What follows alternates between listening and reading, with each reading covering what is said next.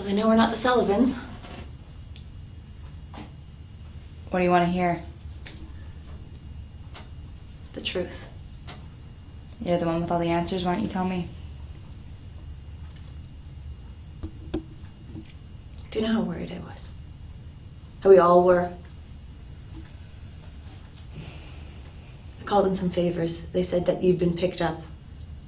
That you're trying to leave the block. I went after Charlie. Look, this thing, it's a cancer. It's bad enough he's gone, but to see you every day hating me for it? I don't hate you. No, but you blame me. Because I should have been there. I should have picked him up. He is my son, too.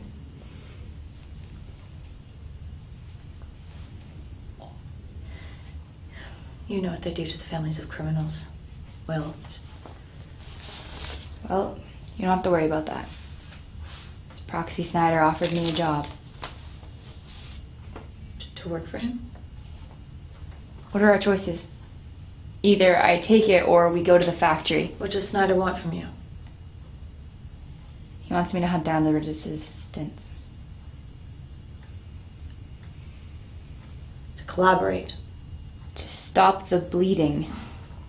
I saw a dozen people murdered the other day, and so the resistance could accomplish what? Do they even know who their enemy is? God, you already sound like them. I'm trying to do something practical here to help us. You do this, you're painting a target on your back. And mine, and your children's.